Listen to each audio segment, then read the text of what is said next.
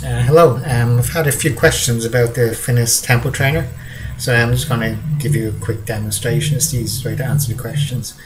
Um, the Tempo Trainer, it's pretty simple to use. You put it underneath your swim cap.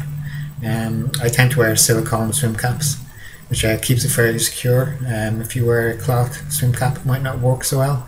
It might move around a little bit, so um, you're better off going with, uh, with a silicone swim cap if you're going to use the Tempo Trainer. Um, Okay, so just should show you the size of the trainer. Um, there's there just fits into the palm of the hand. Um, when it's underneath your swim cap, you don't really notice it very much at all. Um, it's quite easy to use as well. Uh, turn it on, you just press this button here. Just hold it down for a couple of seconds and it comes on. Um, you can move it, move the number up and down with the arrow keys. So just put it there at 1. Uh, basically that signifies it's that um, 1 beat per second or 60 beats per minute. So you can just hear it going there. Um, then you have the arrow keys here to move up and down. So I'm just going to move it to spot 9, 5. Um, there you go, spot 9, 5. And here it's, it's a little bit quicker than it was before. So that's about 63 beats per minute.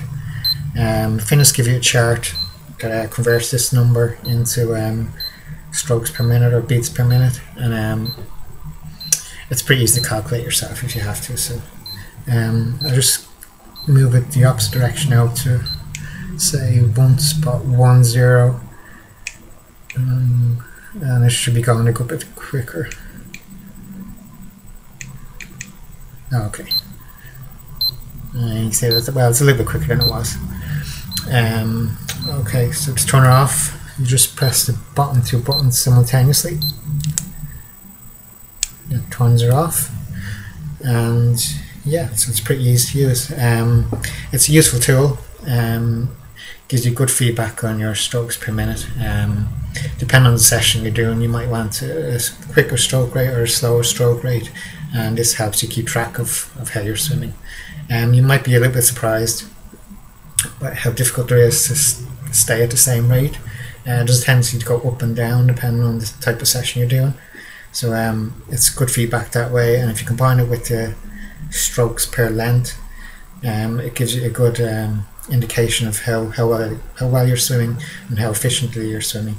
So um, it's yeah, very useful tool. Um, I'd recommend it, and um, yeah, hope you found this helpful.